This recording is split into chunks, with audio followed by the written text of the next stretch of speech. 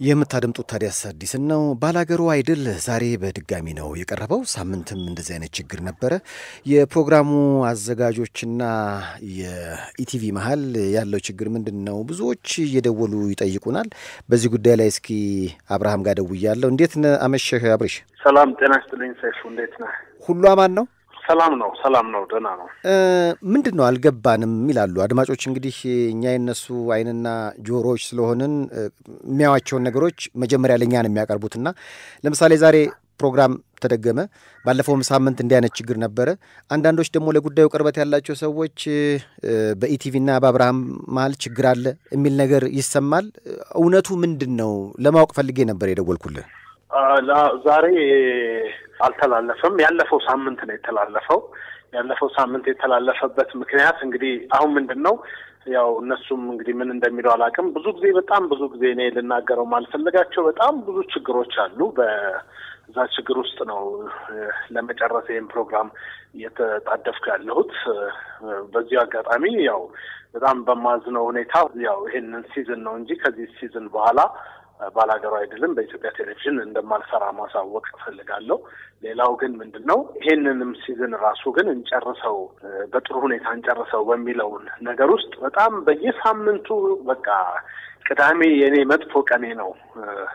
ፕሮግራሙ ከመተላለፉ በፊት ከቲቪ ተደውሎ የምሰማቸው ነገሮች ሁሉ በጣም በቃ በየሳምንቱ የሚያሳምሙኝ ነገሮች ናቸው። ዛሬ አንድ ትልቅ ነገር ምንድን ነው ፕሮግራሙ ላይ ያሉት ሶስት ስፖንሰሮች አሉ። ለምሳሌ ስፖንሰር ማለት ተባባሪዎች ናቸው። ተባባሪዎቹ አንዱ Club H2O ነው። እሱም ፕሮግራሙን ሄደን እዛ ስንቀርጽ ፍቃደኛ ሆነው ስፖንሰር አድርገውን ቦታውን ስለቀረጽን ነው። ሌላው ካፒታል ሆቴል የዳንሱን የተሰራበት ነው። ሌላው ደግሞ ክላስ ፕላስ ነው። stage ኡን ስፖንሰር አድርጋልን ያመጣችልን ማለት ናት። ሂሩት በጣም ሁልጊዜ ከነዚህ ሰዎች ጋር ነው የምንሰራው። በተለይ Club H2O እና የሂሩት ክላስ ፕላስ ሁልጊዜ በምንፈልገው ሁሉ ወጣቶቹንም ለማገዝ እንፈልጋለን። እንዴት እንደምትለፉም ስለምናውቅ እናግዛለን ብለው ያግዙናል። ግን እነሱን thank you የምንልበት ወይም ቦታው ላይ የት እንደተቀረጸ ለማሳየት host እዛ ቦታ ላይ ይሰራል። ይሄ የተለመደ ሲጀመር ጀምሮ የሚሰራ በእኛም ብቻ ሳይሆን የትኛውም ዓለም ላይ ያለ ነው። ስፖንሰር ያደረጉና show ን እንዲያምር የሚያደርጉት አካላት እኛና ኢትዮጵያ ቴሌቪዥን ብቻ አይደለንም። እኛ production ኡ እንሰራለን፣ ኢትዮጵያ ቴሌቪዥን ያስተላልፈዋል። በመሀል ግን ብዙ ትብብሮች ጠይቀን ነው ስራውን የምናሳካው እንጂ እኛ የምናገኘውን ገንዘብ ሰው ቁጭ ብሎ ቤቱ ሊደምረው እንኳን ይችላል። ምንም ብዙ ገንዘብ አጥተንበት የምንሰራው ስራ ነው። ግን ይሄ ነገር ታየ፣ ይሄ ነገር ሆነ፣ የስፖንሰሮቻችን ድርጅቶች ሎጓቸው ስለታየ ፕሮግራሙ መተላለፍ አይችልም ይባላል። ከአቅማችን በላይ በሆነ አይነት ነገር ነው። ዛሬ በጣም በሚያስገርመው ሁኔታ አይተላለፍም የሰጣችሁት ፕሮግራም ተብሎ ሳይተላለፍ ቀርቶ የሳምንቱ ሲደገም ግን ዛሬ ስፖንሰር ያልሆኑ ሳምንት ግን ስፖንሰር የነበሩ ድርጅቶች ማስታወቂያቸው ይተላለፋል። ያ አሰራሩ ራሱ በጣም ግራ የሚገባ ነው እና ትንሽ ከንትንም አለፈብኝ። እኔ አሁን እንደውም ምንም በዚህ ጉዳይ ላይም ከማውራትም ብዙም የማልፈልገው ነገር ነበር፣ ግን አለፈ። በቃ ምን ሊሆን እንደሚችል እንጃ። እነሱንም ብጠይቋቸው ከኛ ጋር ስምምነት የለንም፣ በጸብ ውስጥ ነው የምንሰራ ያለ ነው። ስለዚህ እናንተ ደግሞ እስኪ እነሱን ብጠይቋቸው ደስ ይለኛል። እንግዲህ የሚመለከተው አካል መልስ የሚሰጠን ከሆነ እኛም እንፈላልግና ልናወራቸው እንሞክራለን። ግን ካሁን በኋላ ባላገሩ አይድል በቃ አይቀጥልም። ይህንን season ወይም ደግሞ የመጨረሻውን ተወዳዳሪ አሸናፊውን ካሳወቃችሁ በኋላ በቀጣይነት በቴሌቪዥን production የመቀጠል ሀሳብ የለህም አብርሃም? አይ በቃ እኔ ወስኛለሁ። እሱን ለኢትዮጵያ ቴሌቪዥንም ያው ጊዜው ሲደርስ ደብዳቤ ያስገባለሁ። ግን በቃ ለህዝቡ የምነግረው ይሄንን ጊዜ ብቻ ስለሆነ የምንሰራው ህዝቡ ከጎናችን ሆኖ እስከ መጨረሻው በጥሩ ሁኔታ እንዲከታተለውና አሸናፊዎቹን ለማውጣትና ለማሳወቅ ለመሸለም በምናደርገው ጥረት ውስጥ ከጎናችን እንዲሆን በዚህ አጋጣሚ እንደውም ጥሬን አስተላልፋለሁ። አሁን ምን ያህል ተወዳዳሪዎች ቀሩ? አሁን ያው መቶ ሀያ አምስት ተወዳዳሪዎች ነበሩ። ወደ ከአራት ሺህ በላይ ተወዳዳሪዎች ነበሩ የነበሩት። ከዛ ውስጥ መቶ ሀያ አምስት አጣፍተን በድምፁ ነው ምልህ መቶ ሀያ አምስት አጣፍተን ከመቶ ሀያ አምስት ውስጥ ሀያ አምስት የሚገቡትን ተወዳዳሪዎች እያጣራን ያለንበት ወቅት ነው። እስካሁን አልተላለፉም እንጂ አስራ ሶስት ልጆች አረንጓዴ አግኝተው ወደ ካምፕ ውስጥ እንደሚገቡ ያረጋገጡ አሉ። የተላለፉት የተወሰኑት ናቸው። ገና አሁን በዚህ በቀጣይ ሳምንታት የሚተላለፉ ናቸው። ሌላም ውድድር አሁን በሚቀጥል ምንት አለን። በዛ ውስጥ ደግሞ የቀሩት አስራ ሁለቱ የሚለዩበት ነው የሚሆነው። አንዳንዶች በትንሽ ረዘመ የሚል አስተያየት ሰጡ ሰማለሁ። መቼ ሊያልቅ ይችላል? የረዘመበትስ ምክንያት ምንድን ነው? አብርሃም አዎ ምንድን ነው ትንሽ ረዘመ ለሚሉት በጣም ነው የረዘመው እንድትልልኝ እንድታስተካክል ይፈልጋለሁ። በጣም ችግር አለ ሰይፉ፣ በጣም ብዙ በቃ ብዙ ልነግር ከምችለው በላይ አንድም መቀጠል የማልፈልግበትም ምክንያት አንድም ይሄ ነው። ሌላ እንደገና ሶስት አመት ከእድሜ ላይ መቃጠልም አልፈልግም እና ብዙ ችግሮች አሉ። እሱን መጨረሻ ላይ እኛ ስንጨርስ ምናልባት ጋዜጣዊ መግለጫ አዘጋጅተን ለምንጠየቅበት ሁሉ ነገር መልስ የምንሰጥበት ይሆናል። ግን ማንም ሰው እንዲያውቀው የምፈልገው የዚህ ፕሮግራም መቆየት እውነት ለመናገር ከማንም የበለጠ የጎዳው እኛን ነው።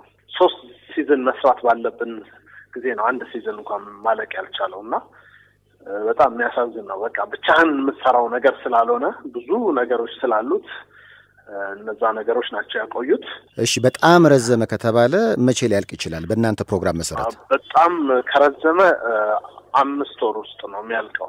አሁን ባለው ምንድን ነው ግን በቀጥታ ስርጭት ምክንያት ምናልባት ብዙ ሳምንታት ላይ ይተላለፍ ይችላል። በዚህ አምስት ወር ውስጥ ብዙ ጊዜ አንዳንድ ዝግጅቶች የመስቀል በዓላት እንኳን አልተላለፈም። የኛ ዝግጅት የአየር ሰዓቱ ተሸጠ፣ የአየር ሰዓቱ እና ስለዚህ ምንም control ም የለንም። በጣም ብዙ ጊዜ በቀጥታ ስርጭት ምክንያት ፕሮግራማችን አይኖርም። ተመልካቹም ወይ ባላገሩ ሊኖርም ወይ ላይኖርም ይችላል አይነት አስተያየት ነው የሚያየው እንጂ እርግጠኛ ሆኖ ቅዳሜ በዚህ ሰዓት አለ ብሎ እንዳይልም አድርጎታል እና እሱም ነው። ሌላም ሌላም ግን ብዙ ችግሮች አሉ ፕሮግራሙን እንዲለጠጥ የሚያደርገው። ያው እንግዲህ እኛ ሁለቱም ወገኖች ምክንያቱም እንደ ተመልካች ሆነ ስታስበው ትርፍህ በባላገሩ አይድል መዝናናት ነው እና በመሀላችሁ ያለው አለመግባባት ተፈቶ ነገሮች በጥሩ ይደመደማሉ ብለን ተስፋ እናደርጋለን። አብርሃም ወልዴ ከባላገሩ አይድል ከታዲያስ አዲስ ጋር ስላደረከው ቆይታ ከልብ አመሰግናለሁ። እሺ፣ አመሰግናለሁ ከላይ እንግዲህ ከአብርሃም ወልዴ ጋር ቆይታ አረግን። የእሱን ቅሬታዎች ይዤ ደግሞ ወደ ኢቢሲ ደውያለሁ። የስፖርትና መዝናኛ ክፍል ምክትል ዋና ዳይሬክተር ናቸው አቶ ታከለ ኮይራ መስመር ላይ ያሉ። ጤና ይስጥልኝ አቶ ታከለ። ጤና ይስጥልን አቶ ሰይፉ። ሰላም ምሽት ነው፣ እንዴት ነው? መልካም ነው፣ ሁሉም በጎ ነው፣ ሰላም ነው። አለን አለን። እንግዲህ አለመግባባት ያለ ይመስላል፣ ውዝግብ ቢጤ ያለ ይመስላል። እንደገባኝ ከሆነ የባላገሩ አይድል ፕሮግራም አዘጋጅ አብርሃምን አውርቼው ነበረ። በተለይ ዛሬ ፕሮግራሙ ያልተላለፈበት ዋና ምክንያት ከጀርባ ያሉ ሎጎዎች ይቆረጡ፣ እኛን የተባበሩት ድርጅቶች ይሉናል። እነሱ ተባብረውን ያንን መቁረጥ በጣም አደጋ ነው እና በዚህ ምክንያት ፕሮግራሙን ሰተናቸው አልሄደም የሚል ቅሬታ አለው። ማለት አለመግባባት አለ የተባለው በፍጹም የተሳሳተ ነው። ምክንያቱም እኔና ባላገሩ አይዶል አዘጋጅ አብርሃም ወልዴ ጋር ከሁለት ሳምንት በፊት በቢሮ ማለት ነው ቁጭ ብለን ለሰዓታት ውይይት አድርገናል። ቀጣይ ይሄ ታለንት ሾው እንዴት ይጠናቀቃል፣ ቀጣይ ጉዞ እንዴት መሆን አለበት፣ እንዴት በእቅድ እንመራለን የሚለው ነገር በስፋት ተነጋግረናል። ስለዚህ በመካከላችን ምንም አይነት አለመግባባት የለም። እንደሚታወቀው ያው ዛሬ ፕሮግራሙ አልተላለፈም። ያልተላለፈበት ምክንያት ምንድን ነው? በማስታወቂያ ይዘት ላይ ችግር ስላለበት እሱን ማስተካከል እንዳለባቸው ነገር ናቸው። እነሱ በኩል ደግሞ አናስተካክልም የሚል ምላሽ ስለተሰጠ ነው። አጠቃላይ እስከ ሀምሳ ሺህ ብር የሚያስከፍል ማስታወቂያ ይዘት ላይ ችግር አለ። ስለዚህ እኛ አብርሃም እንደሚያውቀው አዘጋጆች ሁሉም ማለት ነው ለቀረጻ እና ሌሎች ጉዳይ ለተባበሩ አካላት ምን ያህል ምስጋና ሊሰጥ እንደሚችል በቃልም በጽሁፍም ምን ሊባል እንደሚችል ይታወቃል። በዚህ አግባብ አብርሃምም እየሰራ ቆይቷል እና የዛሬውን ማስተካከል ነበረበት። አለማስተካከሉ ያው ስህተት ነው። ከእሱ ጋር ቁጭ ብለን እንነጋገራለን። ሌላው ምናልባት በዚህ ሁኔታ ይሄ መጨረሻ ሲዝን ነው፣ ከዚህ በኋላ አብሮ የመስራቱን ፍላጎት የለኝም የሚል ሀሳብ አለው። ምናልባት እናንተ የምታውቁት ነገር የለም እሱ ምክንያቱም መጨረሻ ላይ ደብዳቤ ያስገባለሁ እያለ ነው። ፕሮግራሞች ብዙ ጊዜ በበዓላት ምክንያት ይታጠፉብኛል። ያም ራሱ ፕሮግራሙ ባጭሩ እንዳይቋጭ ወይም ደግሞ እንዳይጠቃለል አድርጎታል። ተንዛዛ በዚህ ምክንያት እያለ ነው። አንደኛው ቅሬታ እሱ ነው።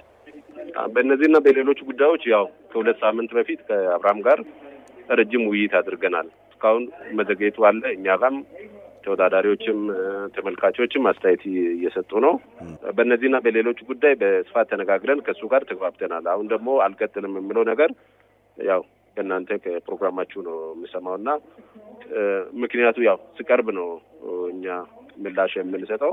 እስካሁን ባለው ሊያስቀጥል የማይችል ምክንያት ምንም የለም። ምክንያቱም እስካሁን እየሰራበት የቆየው የማስታወቂያ ሕግ አለ እዚህ ቤት። ስለዚህ በዛ መሰረት ነው መስተናገድ የምንችለው። ሌላው ምናልባት ከዚህ ከባላገሩ አይድል ውጪ አንዳንድ የሰሟቸው ነገሮች አሉ። እርስዎን ካገኙ አይቀር ልጠይቆት ብዬ ነው። ለምሳሌ አሁን ቤቶች ድራማ ከኢቲቪ three ነው ወደ one የመጣው። የድራማ ሰዓት ያልሆነ ሰዓት ላይ ነው ፕሮግራሙ ይቀርብ የነበረው። ከዛ በኋላ ለመደና አሁን ግን ተጫርተ ስላልሆነ ቦታውን የያዝከው መጫረት አለብህ ወደሚል ነገር ውስጥ ቤቶች ራሱ እየመጣ ነው የሚባል ነገር ሰምቼ ነበረ። ይሄ መጀመሪያ ጥያቄ እውነት ነው ወይ? ከሆነ እሱ ባለመደው ሰዓት ላይ ወይም ደግሞ ከአሁን በፊት ባልነበረ ነገር ላይ እንደገና እንደ አዲስ መጫረት፣ ሁለት ደግሞ በጣም እየተወደደ ያለ ድራማም ስለሆነ በሰው ስሜትና ፍላጎት ላይ የሚያመጣው ተጽዕኖ አይኖርም ወይ? የመጀመሪያው የድራማ ሰዓትን በተመለከተ አራት ሰዓት በኋላ ሰው አይመለከትም፣ አይዝናናም የሚለው ነገር በእኛ በኩል ተቀባይነት ያለም አይመስለኝም። ምክንያቱም ይሄ research ጥናት የተደረገ ነገር አይደለም። ምክንያቱም ቤቶች ሲጀመር ተመልካች አይኖርም ምን አይልም ተብሎ ነበር። ነገር ግን ቤቶች ድራማ በተመለከተ የሶስት ወር የሁለት ወር አስቀድሞ ማስታወቂያ አልቋል። የማስታወቂያ ማለት ነው አይገኝም አሁን ቦታ ራሱ። ይሄ የሚያሳየው ምንድን ነው? ተመልካች አለው audience አለው ማለት ነው። ስለዚህ አራት ሰዓት ጀምሮም ከአራት ሰዓት በኋላም የመዝናኛ ሰዓት ነው። እናንተ በምታቀርቡት ፕሮግራም ሰው ሬዲዮ እስከ ሌሊት ሰባት ሰዓት ስድስት ሰዓት እየተከታተላችሁ አይደል? ስለዚህ የሚቀርበው ይዘቱ ምን ያህል ያዝናናል፣ ምን ያህል ያስተምራል የሚለው ነገር ነው እንጂ ሰዓት ማተር አያደርግም። ስለዚህ እንደሚታወቀው ያው እኛ ጋር አጠቃላይ ድራማና ፊልም በተመለከተ አሰራር ዘርግተናል። አሰራሩ ምንድን ነው? ከውጭ የሚመጡ ድራማዎችና ፊልሞችን በተመለከተ የሚገመግም ተቋሙን የሚያማክር council አለ፣ ገለልተኛ body አለ። በዚህ አዲስ የሚመጡ ድራማዎች በዚህ በኩል ይገባሉ። ቤቶችና ዳና ድራማን በተመለከተ ከኛ ጋር የቆዩ ድራማዎች ናቸው። በባህሪያትም የተለያዩ ናቸው። ቤቶች sitcom type ነው። ዳና ደግሞ serial type ድራማ ነው። እነሱም በተመለከተ ነባር ድራማዎች ናቸው። ቀጣይ እንዴት ነው ሊሄዱ የሚችሉት? በምን ሁኔታ ወደ አሰራሩ ሊገቡ ይችላሉ የምለው ነገር እየሰራን ነው። በጣም ጥሩ። እንግዲህ የስፖርትና መዝናኛ ክፍል ምክትል ዋና ዳይሬክተር አቶ ታከለ ኮይራ ከታዲያስ አዲስ ጋር ስላደረጉት አጠር ያለ ቆይታ ከልብ ከልብ አመሰግናለሁ። እኔም አመሰግናለሁ ሰይፍሻ ሽጉጥ ተመዞብኛል የሚለው ድምፃዊ ጉዳዩን ወደ ፍርድ ቤት ወስጄዋለሁ ይላል። ከታዲያስ አዲስ የምታደምጡት ታዲያስ አዲስን ነው። ሽጉጥ የተመዘበበት አርቲስት ማን ነው? ሁኔታውስ ምን ይመስላል? ልነግራችሁ ሰዓቱ ላይ ደርሰናል። እንግዲህ የእኛ አይንና ጆሮዎች ብዙ ጊዜ አድማጮች ናቸው።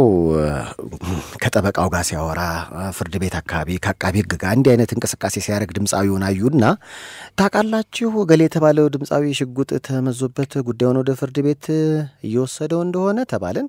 እሱን አጣርተን ልናቀርብ ነዋ። ማን ነው ባክህን? እስኪ ዝም ብዬ ለአንተ ጥያቄ ላቀርብልህ። ከአሁን በፊት እንደው ሽጉጥ የተመዘዘበት ድምፃዊ ታውቅ ይሆን? ፊልም ላይ አውቃለሁ። ፊልም ላይ ከሆነ ታደለ ሮባ ፊልም ላይ አውቃለሁ። ፊልም ተመዘውበታል። እኔ መዛል እንጂ የሚመዘዝበት ሁሉ አይመስለኝም። ታደለ ሮባ ሽጉጥ script ኡ ነው የሚያስቀይሩል ይመስለኛል። ግን ዝም ብዬ ያሰብኩትና ከአሁን በፊት እንደው ሽጉጥ መምዘዝን ዝም ብዬ ሳስበው ነፍሱን ይማረውና በሰርግ ስራዎቹ በጣም ይታወቃል ታደሰ አለሙ። እሱ ሽጉጥ ነበረውና በአጋጣሚ የሆኑ ሰዎች ሞቅ ብሏቸው አንድ ምሽት ላይ ይለክፉታል። ሲለክፉት እንዴ ቢያረጋቸው ቢሰራቸው አንዳንዴ ሙዝዝ የሚል ለካፊ ያለ አይደለ? እንደዛ ሲሆኑበት ጊዜ ላስፈራራልና ሽጉጥ አውጥቶ ዞር አትሉም ማስፈራራት ጀመረ። ዞር አትሉም ሲል አጋጣሚ ለካ ከመሀል አንዱ ካራቲስት ነው። በካራቴ እጁን ብሎ ሽጉጡን አያስጥለውም። መጀመሪያ የጠየቀው ነፍሱን ይማረን በጣም ኮሚክ ነበር። የቱ ጋን የወደቀው ነው ያላቸው። የቱ ጋን ወደዛ ነው ሄደዋል። እንደዚህ ጎበዝና ችሎታ ካላችሁ ስፖርተኞች ከሆናችሁ ለምን ትላቀፋላችሁ? አሁን በቃል እንደገና ማግባባት ጀመረ። ይሄ በትክክል የሆነ ነው። ከዛ ግን የሚያሳዝን እውነት ነው ማለት ነው። ፊልምም አይደለም ፊልም ይሄ እውነተኛ ኧረ ማን ነው እባክህ ወደዚህ ደግሞ ስንመለስ እንግዲህ አዲሱ ሽጉጥ የተመዘዘብኝ ባዩ ድምፃዊ እንግዲህ ማን እንደሆነ ልንናገር ነው። ጉዳዩ ወደ ፍርድ ቤት ሄዷል የሚል ነገር ሰማን። ነገሩ የሆነው በአንድ ምሽት መዝናኛ ነው። ይህ ድምፃዊ ከአዋሳ የመጡ እንግዶቹን ይዞ በምሽት መዝናኛው ሲዝናና ቆየና ቢል ያዛል። እንግዲህ እንደሰማነው ከሆነ ቢል ሲያዝ የመጣው ቢልና ተጠቅሜዋለሁ ብሎ የሚያስበው ገንዘብ አልተመጣጠንም። ስለዚህ ማኔጀር ይጠራ። ከዛ በኋላ ያለው ችግር ነው እንግዲህ አሁን ማን ነው እሱ? እባክህን ፍርድ የፍርድ ቤት ስለሆነ እስኪ ራሱ የሆነውን ነገር ያስረዳን። ጉዳዩን ወደ ፍርድ ቤት ወስጀዋለሁ እያለ ስለሆነ ነው። በኤስኦኤስኦ ዘፈኑ እናውቀዋለን። በቅርቡ እንደውም ከማሚላ ጋር ሁለቱም በተናጠል ለመስራት ተለያይተዋል። ኪቺኒ አዲስ ነጠላም ዜማ ለቋል። እንግዲህ አዲስም ጉዳይ ይዞ ወደ ፍርድ ቤት እየሄደ ነው። ሽጉጥ ተመዘዘብኝ ባዩ ድምፃዊ ኪቺኒ ነው። እንኳን ለሚያውቃት ለማያውቃት ጤና ይስጥልኝ አቀንቃኝ ኪቺኒ፣ ጤና ይስጥልኝ። እንደምን ነህ? ሁሉ ነገር አማን ነው? ሁሉ peace ነው። ሴፌ እንዴት ነህ? አንድ ወሬ ሰማንና እናጣራ ብለን ደወልን። ሽጉጥ ስለተመዘዘብኝ ጉዳዩን ወደ ፍርድ ቤት ወስጀዋለሁ ማለትህ እየተሰማ ነውና እውነት ነው ወይ? ከዛን ጀምር እስኪ። አዎ ሴፉ፣ ጉዳዩ ያው በፍርድ ቤት እየታየ ነው ያለው። ሽጉጥ ያው በእርግጥ ተመዞብኛል። መመዘዝ ብቻም ሳይሆን በሽጉጥ ሰደፍ ያው ተመትቼ ነበረ በሰዓቱ። በዛ ወደ ህግ ነው የሄድኩት። ያው ጉዳዩን ህግ እያየው ነው ያለው። ማለት እንዲህ አይነት አጋጣሚዎች ብዙ ጊዜ ህጉም ላይ ይላል መምዘዝ፣ መግደል ብዙም ርቀት የላቸውም የሚል ነገር አያለውና ምንድን ነው የተፈጠረውን ነገር እስኪ በጊዜው አስታውሰኝ። የተፈጠረው ነገር ከዘ ፓርክ ክለብ ማናጀር ጋር ነው የተፈጠረው። ለእኔ ሲያመጡልኝ ያው ከተጠቀምን በኋላ ያመጡልኝ bill የተሳሳተ bill ነበረ። እኔ ያው ኢትዮጵያ ባለቤት ጋር ካለኝ ጥሩ ቀረቤታ አንጻር ባለቤቱ እንዲመጣ ፈለግኩኝ። አልነበረም እሱ ማናጀሩ መጣ። manager ኡ bill ኡን አሳየሁት። እኔ የተጠቀምኩት እንደዚህ ነው እና የመጣው bill ይሄ ነው እና የተሳሳተ bill አመጥተውልኝ ይሁን ምን ይሁን በትዕግስት ጠየቁት። ጠይቀው ያው ትንሽ እሱም ጠጥቶ ይሁን ምናምን በጣም ኃይለ ቃል ነው የተናገረውና እኔ በሰዓቱ ያናደደኝ ነገር ቢሉን ሀምጣ ስለው መልሶ ሊሰጠኝ አልፈለገም። የተጠቀምኩበትን ቢል ማለት ነው። ፈለግኩት፣ ወረቀቱን ፈለግኩት። እኔ ያላችሁኝ ነገር ይኸው ከፍዬዋለሁ፣ ግን ወረቀቱን ፈልጓለሁ አልኩት። በዛ አንድ ሁለት አንድ ሁለት ተባባልን። ጋርዶች መጡ። እንግዲህ ወደ ጓሩ ነው ይዘውኝ የወጡት ሁለት ጋርዶች እና ከእሱ ጋር ሆኖ የዛኔ ነው እንግዲህ እኔ ሽጉጥ ተመዞብኝ አቅም ልክ ሽጉጥ ሲመዝ ያው ያው ምንም ማንም ሰው ቢሆን ያው ሊደነግጥ የሚችለው ነገር ነው። በጣም ደነገጥኩኝ። ያው ሽጉጡን አውጥቶ ያው ብዙ ሰዎች ባሉበት መሀል ነው ወዲህ ወዲያ ተባባልን። ያው ጋርዶች አሉ። በጋርዶች መሀል ተንጠራርቶ ነው በሽጉጡ ሰደፍ የመታኝ። ያው በሳቱ አላቅም የተወሰነ ደቂቃ ራሴን ስቼ ነበረ። ይኸው ነው። ከዛ በኋላ ልክ ደምቼም ነበረ ወደ ፖሊስ ጣቢያ ነው የሄድኩት። እዛ አስመሰከርኩ፣ ምን አልኩ፣ አሳሰርኳቸው። አሁን በዋስ ወጥተዋል። ጉዳዩ በፍርድ ቤት እየታየ ነው። የቀን ቀጠሮ ይዞ ነው ያለው። ያው እንግዲህ አዲስ ነጠላ ዜማህም ወጥቶ በጣም ተወዳጅነትን እያገኘ ነው። በመሀል ይህን ወሬ ስናገኝ ጊዜ እስኪ እናጣራ ብለን ነው። ምክንያቱም ፍርድ ቤት አካባቢ ያዩህ አድማጮች ናቸው ደወል አድርገው ኧረ አንድ ድምፃዊ ሽጉጥ ተመዞበት ጉዳዩን ወደ ፍርድ ቤት ከሶት ወስዶት እየታየ ነውና እስኪ አጣራ አጣሩ ተባለን። ለዛም ነበር የደወልኩልህ።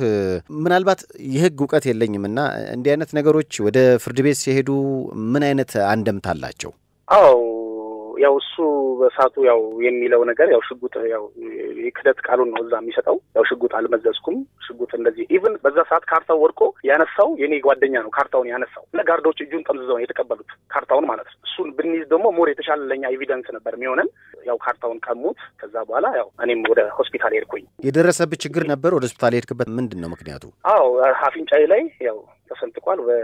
በሴንቲ ነው በእንዴት አስር ሴንቲ ነው ምንድን ነው እንደሚባል እንትን ነው ያው በዛ ተሰፍቼ ነበረ አንድ ለተወሰኑ ሳምንት ምናምን ያው ከቤት ያልወጣሁበት ሁኔታና ያው ተጎድቼ ነበረ። ያው ከዛም በኋላም ደግሞ እኔን ያው ምንም እንትን ያሉኝ የለም ማለት ተጎድተሃል እንደዚህም ብሎ የጠየቀኝም ሰው የለም። ያው እኔ ጉዳቴን ይዤ ያው ጉዳዩም በፍርድ ቤት ነው ያለው ማለት ነው። እሺ እንግዲህ እኛም ለአንተም መልካሙን ሁሉ እንመኛለን። ከመጥፎ ነገር ሁሉ ይሰውር። አዲሱ ነጠላ ዜማህን እናጫውታለን። ኪቺኒ ከታዲያስ አዲስ ጋር ስላደረከው ቆይታ ከልብ ከልብ እናመሰግናለን። ሴፊ እኔም በጣም ከልብ ነው የማመሰግነው። እግዚአብሔር ያክብርልኝ። የምታደምጡት ታዲያስ አዲስ ነው። እንግዲህ የሆነ ድርጅት ነው፣ ለአንድ ቀን ነው። የሆነ ነገር ጠፋና ሰራተኞች ወደ ውስጥም እንዳይገቡ ወደ ውጭም እንዳይወጡ ታግደው ዋሉ የሚለውን ወሬ ታደለ ሲያጣራ ነበር። እንዴት ነህ? አለውልህ ይህ እንግዲህ በጣም አስቂኙ ታሪክ የተፈጠረው ቄራ አካባቢ የሚገኝ አንድ የግል ተቋም ውስጥ ነው።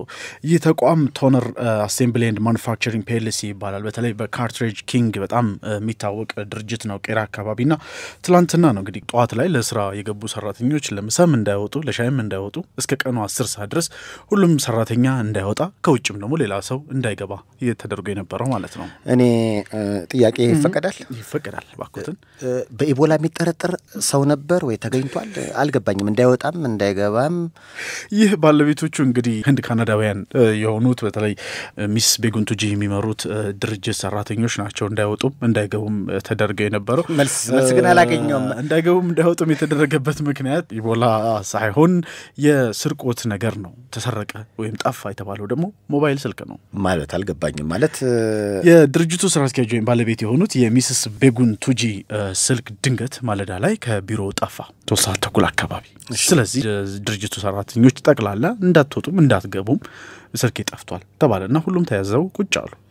እናም የድርጅቱ ሰራተኛ ለፖሊስ አመለከቱ። የንግድ ባንክ አካባቢ የሚገኘው ፖሊስ ጣቢያ መጡ። እናም ምርመራ የሚጠረጥሯቸው ማንን ነው ተባለ። ቢሮ ገብተው የነበሩ ልጆችን ተናገሩ ሴትዮዋ። በኋላም እነሱን መረመሩና ፖሊስ ምርመራውን ሊያካሂድ ወደ ቢሮቸው ተመለሱ። ፖሊስ መጥቶም ከሄደ በኋላም ግን ሴትዮዋ ሰራተኞቹን እንዳይገቡም እንዳይወጡም ክልከላቸውን አላቋሙም ነበር። ለምንድን ነው? ስልኬ ጠፍቷል ነው። ስልኬን አምጡ፣ ስልኬ ጠፍቷል። ምክንያቱም ከወጣችሁ ስልኬን ይዛችሁ ነው የምትሄዱት ነው የነበረው ነገር ማለት ነው። ማለት እኔ የመንግስቱ ኃይለማርያም የቀድሞውን የኢትዮጵያ ፕሬዚዳንት ታሪክ አስታውሴን ሰዓታቸው ጠፍቶ ለምክትላቸው ደውለው ሰዓቴ ስለጠፋ በአስቸኳይ ማን እንደወሰደው አጣራልኝ ይላሉ። ከዛ ከሁለት ሰዓት በኋላ እንደገና ደወሉ ለምክትላቸው ሰዓት የተገኘ እንግዲህ ተጠርጣሪዎችን ይዘናል፣ ወደ አንድ ሺህ ሰው ይዘናል፣ አምስት መቶዎቹ አምነዋል ወስደናል ብለው ለአንድ ሰዓት እና አሁን ይህን ያስታወሰ ምንድን ነው? በቃ ልክ ሲዘጋ እርግጠኛ ነኝ ከሰራተኞቹ ግማሾቹ ውሃ ወስደናል ቢሉ በፍርሃት ስማቸው በተለይ እንዳይጠቀስ የፈለጉ የድርጅቱ ሰራተኞች ስናነጋግራቸው ቀላል ታገትን እንዴ ነበር ያሉት። ማንም ሰው ወደ ውጭም እንዳይወጣም እንዳይገባም ነበር ተከልክለን የነበረው። ፍለጋው ቀጠለ ከሶስት ሰዓት ተኩል እስከ አስር ሰዓት አልገባንም፣ አልወጣንም አሉ። እኔ ምልህ ግን የሁሉ ሸብረብ ምን አይነት ስልክ ቢሆን ነው? ምክንያቱም ለአንድ ስልክ የድርጅቱን ሰራተኞች በአጠቃላይ እንዳይወጡ እንዳይገቡ ማገት ምን አይነት ስልክ ነው? ምን አይነት ሚስጥር ውስጡ አለ? አፕል ስልክ ነው የተባለ ምናልባትም ዋጋው 26 ሺህ ብር ሊያወጣ ይችላል የተባለ ስልክ ነው። ከሁለት ወር በፊት ነው አሉ ድርጅቱ ባለቤት እጃቸው ላይ መያዝ የጀመሩት አሉ ይህን ስልክና እሱ ስልክ ነው አሉ የጠፋው እና ለዛም ነው አሉ እንግዲህ Miss ቤጉን ቱጂን አግኝቻቸው ነበር በስልክ ላናግራቸው ሙከራ አድርጌ ነበር እና በጉዳዩ ላይ ምንም አይነት አስተያየት መስጠት አልፈልግም። ሆኖም ሰራተኞቹን በቢሮ እንዳይወጡ አድርጌ ያቆየኋቸው ከፖሊስ በተሰጠኝ ትዕዛዝ ነው የሚል ቃል ብቻ ሰጥተውኝ ስልኩን ዘጉብኝ። እንግዲህ በተለይ በተለይ ምንድነው ሰራተኞቹ የሚያነሱት ነገር ከውጭ የሚመጡ ኢንቨስተሮች ህንዳውያን ወይም ቻይናውያንም ሊሆኑ ይችላሉ፣ ወይም ሌላ ዜግነት ያላቸው ሰዎች ሊሆኑ ይችላሉ። ኢትዮጵያዊ ሰራተኞች እንዴት ነው ትሪት የሚያደርጓቸው የሚለው ነገር በጣም ሊታይ የሚገባው ጉዳይ ነው። አይነት ነገሮች ሲፈጸሙ ወዲያውኑ ለፖሊስ ታመለክታለ። ፖሊስ አካባቢ ይደርስልሃል። ፍተሻ የሚያከናውነ ሆነ ፍተሻ አከናውኖ ቃል የሚቀበል ከሆነ ቃል ተቀብሎ ከዛ በኋላ ስራዎች ናቸው መቀጠል መቻል ያለባቸው እንጂ ሰራተኞች እንዳይወጡ እንዳይገቡ ማድረግ ከህግም አንጻር ተገቢ አይደለም ነው አንዳንድ የህግ ባለሙያዎችንም ሳናገር የሰጡኝ አስተያየት። በተለይ በተለይ ግን ያናገርኳቸው ሰዎች የሚያሉኝ ነገር የኢትዮጵያን ሰራተኞችን በምን መልኩ ነው የምታስተናግዳቸው? እንዴት ነው ከሰራተኞች ጋር ያለው relation እንዴት ነው? ሰራተኛና አለቃ ወይም ደግሞ የድርጅቱ ባለቤቱ የውጭ ዜጎች ሲሆኑ ማስተዳደር ያለባቸው በኢትዮጵያ ሰራተኛና አሰሪ ህግ መሰረት ነው መሆን ያለበት የሚል ነገር አንስተዋል። አሁን አስተያየት ለመስጠትም ጭምር ይፈራሉ። ምክንያቱም ብንባረርስ የሚል ነገር አላቸው ሰራተኞቹ። አንዳንዴ እርግጥ አሁን ለምሳሌ ባስ ውስጥ እኔ አንዴ በባስ እየሄድን እንደዚሁ ገንዘብ ጠፍቶ እንዳለ ባሱ ተጭኖ ወደ ፖሊስ ጣቢያ ሄደናል። ያው እንግዲህ ከኃጢያን ጋር ስትገኝ ከኑግ ጋር የተገኘ ሰሊጥ አብረህ ተወቀጥ አይነት ነገር አለው። እንዲህ አይነት ስሜቶች አሉ፣ ይገባናል። ግን ቅድም እንዳልከው ቀኑን ሙሉ በር ዘግተህ አግተህ ለአንድ ሞባይል ትንሽ የሚገባውና የሚወጣውን ሰው እንዳይንቀሳቀስ ማድረጉ እኔ ትንሽ ወጣ ያለ ነገር ሆኖብኛል። አዎ በማግስቱ ወደ ስራ ሲገቡም እንዲያውም ሰራተኞቹ ስልካቸው ላይ እንትን እየተባለ ለማን ለማን ደውላችሁ ነበር እስከ ተብሎ ራሱ እስከ ማየት ደረጃ ተደርሶ ነበር የሚል ነገር ነው ሰራተኞቹ የነገሩኝና ለማን የደወልከው ስልክህ ላይ ለምን? ምክንያቱም ለማን ሰጥተኸው ሊሆን ይችላል ስልኩን አውጥተህ ለማን ሰጥተህ ሊሆን ይችላል ተብሎ ስልካቸውን እስከ ማየት ደረጃ እንደተደረሰ ጭምር ነው እንግዲህ ሰራተኞቹ የገለጹ። ስልኩ አልተገኘም። አሁንም ስልኩ አልተገኘም፣ አሁንም አልተገኘም። ፖሊስ ግን ጉዳዩን ይዞ እያጣራ ነው የሚገኘው። እገታው ግን ቆሟል። እገታውማ ትላንትና ሆኖ አለቀ። አስር ሰዓት ላይ የሚገርም ልክ ቅድም እንዳልከ የባሱን ታሪክ ስታስታውስ የማን ትዝ አለኝ መሰለ ሙልጌታ ከበደን እናንተም ዲሲ ላይ አግኝተዋል እና ሙሌ እየሰማን ከሆነ እንደውም ያስታውሰዋል ከደሴ ወደ አዲስ አበባ ሲመጣ ኢትዮጵያ ሻምፒዮና ተመርጦ ሰባት መቶ ሀምሳ ብር ተሰጥቶት ነበር ከቤቱ ወደ አዲስ አበባ ሲመጣ እና ባሱ ላይ ድንገት አንድ ሰውዬ ሰባት መቶ ሀምሳ ብር ጠፋብኛል እሱ የያዘውን እሱ የያዘውን ብር ማለት ነው። ከዛ ኬላ ላይ እንዲቆም ተደረገ ባሱ። ሰው ሁሉ ተፈተሸ። ድንገት ሲፈተሽ ሙሌ ላይ ሰባት መቶ ሀምሳ ብር ተገኘ። አዎ ይህን ታሪክ አንተ show ላይ ምናወርቶት ነበር። በኋላ እንግዲህ የሆነ ፖሊሱ ድንገት መኪናው ከተንቀሳቀሰ በኋላ አቁሙ ተብሎ ሲፈተሽ ወንበር ስር የሰውየው ብር ሌላ ሰባት አዎ፣ ሙሌ ተረፈና ኦ በጣም እንግዲህ ትላንትና የሆነ ነው። እንግዲህ በአንድ ህንዳዊ በሚመራ ድርጅት ውስጥ ድንገት ጠፋ የአይፎን ስልካቸው። አዲሱ አይፎን አፕል ነው። ስለዚህ በዛ ምክንያት ሁሉም ሰራተኛ ለአንድ ቀን ታገተ፣ እንዳይገባ እንዳይወጣ። ከፖሊስ ያገኘነውን ሪፖርት ታደል አቀረበው። ከታዲያስ አዲስ ጋር እስከ ሌሊት ሰባት ሰዓት አብረን ብንጋባ ይሻላል ብንጣመር ይሻላል ብንጋባ በማንብል ብንጣመር ይሻላል ሄላ ሄሎ፣ አቤት ጤና ይስጥልኝ። አብሮ ይስጥልን። እንደምነሽ? ሰይፉ ፋንታውን እባላለሁ። ከሸገር ነው የምደውለው።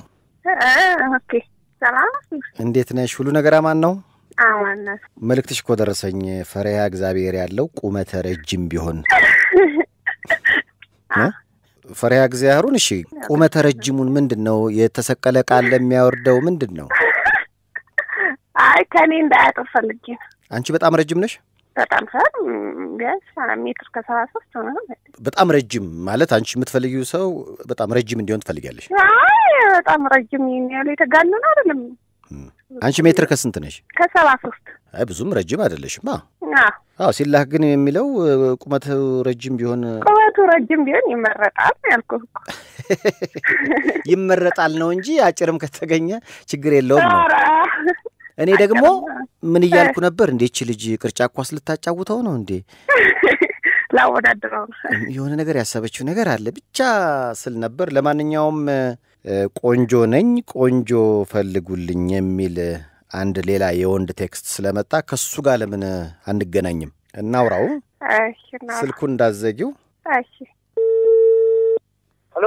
Hello፣ አቤት። ሰይፉ ፋንታውን እባላለሁ። ከሸገር ነው የምደውለው። አንበሳው።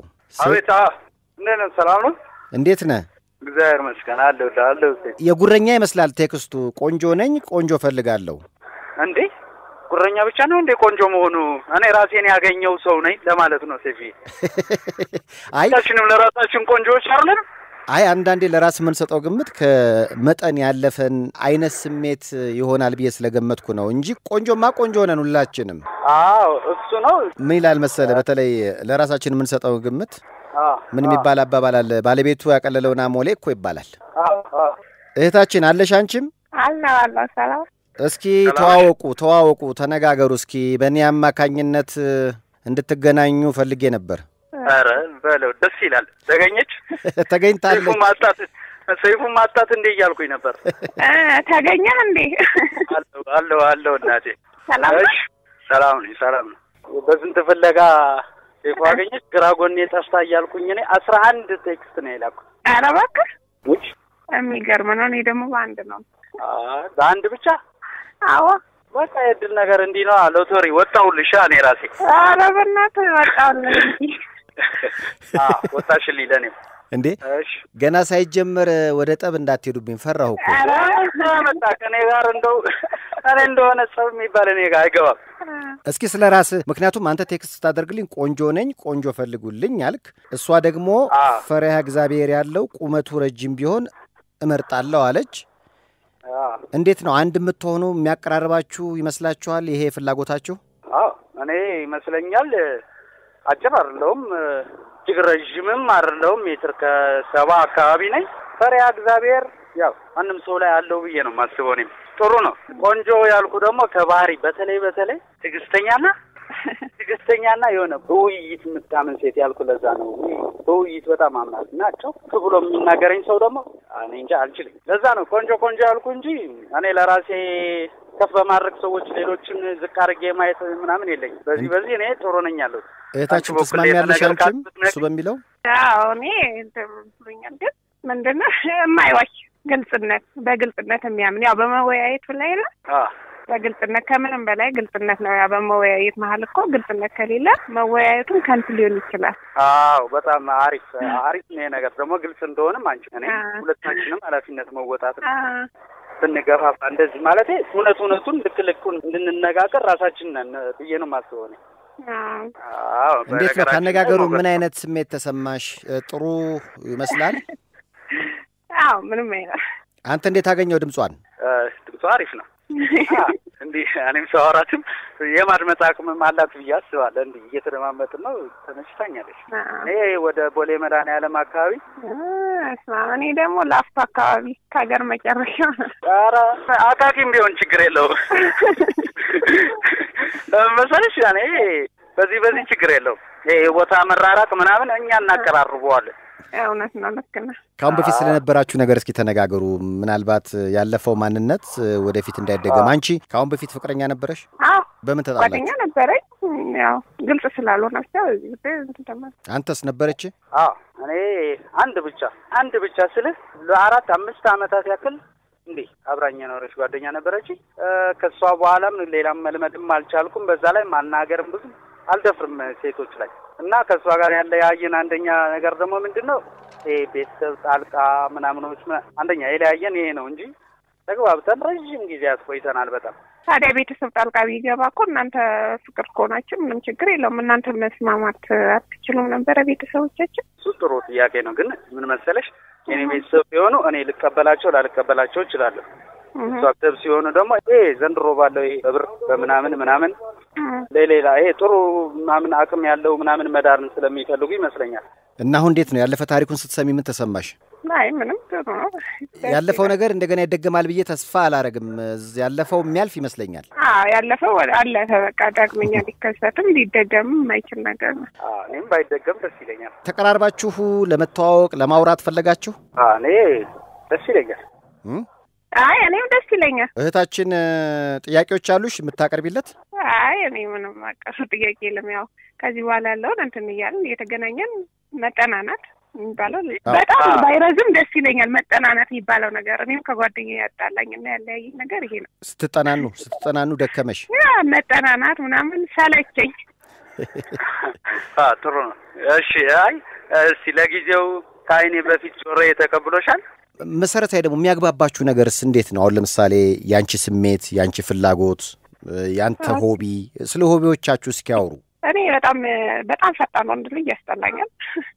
የእውነት ለሁሉም ነገር የሚቸኩል ሰው በጣም ነው አልወድም። እሱ ደግሞ ፈርዶበት በጣም ችኩል ነው። አዎ ምላሱ ችኩል ይመስላል፣ ግን ቀርበህ እስከምታየው አንዳንድ ሰው ተናግሮ የሚናገረውና በአካል ስታየው እኩል አይደለም። ያንን አንተ ችኩል ነህ እንዴ? ችኩዬም አላውቅም። ይሄ ትዕግስተኛ የሚለውም ይገልጽልኛል ብዬ አስባለሁ። ይሄ ማለት በአንድ ቤቴ ባልገልጸውና እሷ በተግባር ታየዋለች ብዬ አስባለሁ። ሱስ ላይ እንዴት ነህ? እሱ ላይ ነጻ ነኝ። ከሁሉም ደስ ይላል። ኧረ እኔም ነጻ ነኝ በእግዚአብሔር። ቀንም ማታም ነው የምሰራው። የስራ ሱስ በለው ያው አንቺ ዝግጁ ነሽ እንዲ አሁን ፍቅሩ መጠናናቱ ከሰመረና ከተግባባችሁ አብራችሁ ለመኖር አዎ፣ እሱም እንደ እግዚአብሔር ፍቃድ ምን ዘፈን ልጋብዛችሁ? ያዛት የሚለው የአብነት አጎናፍር ከአዲሱ ላይ መክሊትን ያዛት የሚለውን ያዛት በቃ አግኝተሃታል ማለት ነው። ይዛታለሁ። ተንከባከባት፣ ግራ ጎንህ ናት። እሺ ይህ ፍቅር ትልቅ ደረጃ ላይ ደርሶ ወደፊት ደውላችሁ ሰይፉ እባክህ አይን አባት ሁነ እንደምትሉኝ ተስፋ አረጋለሁ። አዎ አይቀርም። እኔም ኧረ ሴት ሻ- ሽማግሌ ነክ እንደውም እንዴ የመጀመሪያዋ ሴት ነሽ መቼም ሽማግሌ ስትልኪ። እንዴ ሽማግሌ ይላካል እንጂ ልትልኪ አይ የነገር አባት አዎ ነገረኛም ስለሆንኩ ነገረኛም ነው ማን ይችላል። ምንም ችግር የለም። እሺ እሺ፣ መልካም ምሽት። በጣም bye bye ቻው አመሰግናለሁ። ሁለታችሁንም። እሺ እሺ thank you